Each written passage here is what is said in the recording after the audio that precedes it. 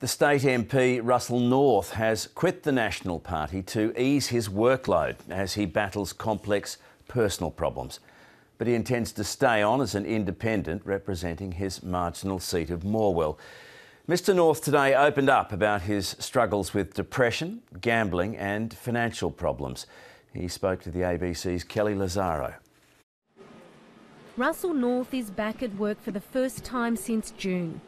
Today's a really big step. It's going to be a tough day, but hopefully tomorrow will be better. And for the first time, he's revealed the reasons for his leave of absence from Parliament. Did I gamble too much? Absolutely. Um, uh, did I drink too much? Absolutely. How bad did things get for you? I'm lucky to be here. There's probably a few times that I was very, very close to not being here. I hated looking in the mirror. Um, I even went to the extent of recently growing a beard. I didn't want to shave because I didn't want to look at myself in the mirror.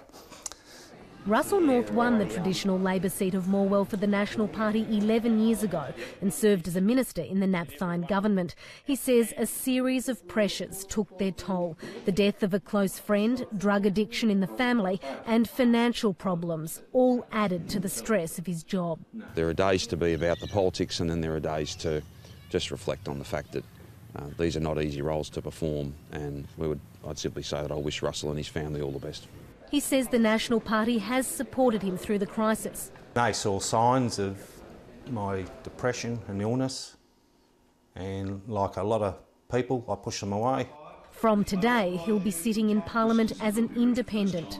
It's important for my own health perspective, but uh, the community also need uh, a local MP representing them. And if that's the professional advice he's had, that's, that's what he should be doing.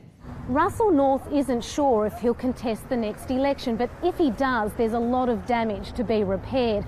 The ABC understands Russell Northe has amassed a personal debt of at least $100,000, partly linked to his gambling, and a number of local creditors are involved.